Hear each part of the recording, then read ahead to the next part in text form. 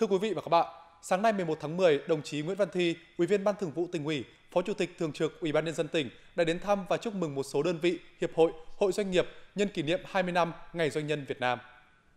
Đến thăm chúc mừng Hiệp hội Doanh nghiệp tỉnh, Hiệp hội Doanh nhân nữ, Hội Doanh nhân trẻ, Phòng Thương mại và Công nghiệp Việt Nam chi nhánh Thanh Hóa, Phó Chủ tịch Thường trực Ủy ban dân tỉnh Nguyễn Văn Thi ghi nhận, đánh giá cao những đóng góp quan trọng của cộng đồng doanh nghiệp, đội ngũ doanh nhân Thanh Hóa vào sự phát triển kinh tế xã hội của tỉnh, cũng như vai trò đóng góp của VCCI chi nhánh Thanh Hóa Ninh Bình và các hội, hiệp hội doanh nghiệp, doanh nhân những năm qua.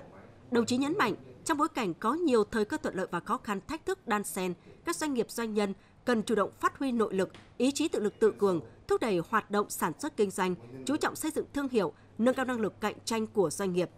quan tâm đảm bảo đời sống việc làm cho người lao động. Cùng với đó, thực hiện tốt chuẩn mực đạo đức văn hóa kinh doanh, tinh thần thượng tôn pháp luật, xây dựng hình ảnh doanh nhân Thanh Hóa bản lĩnh hiện đại, thành đạt và hội nhập quốc tế, tích cực thực hiện các hoạt động nhân đạo từ thiện, an sinh xã hội vì cộng đồng.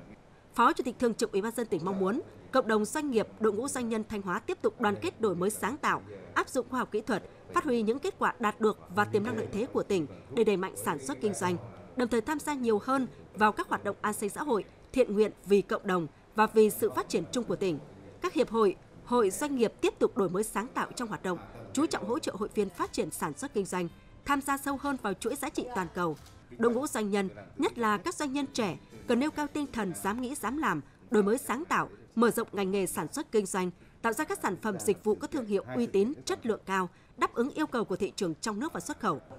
Đồng chí Phó Chủ tịch Thường trực Ủy ban dân tỉnh Nguyễn Văn Thi khẳng định, tỉnh luôn dành sự quan tâm chăm lo, tạo môi trường đầu tư kinh doanh thuận lợi, thông thoáng, minh bạch, bình đẳng để các doanh nghiệp trên địa bàn phát triển hiệu quả và bền vững với phương châm doanh nghiệp phát tài, thanh hóa phát triển.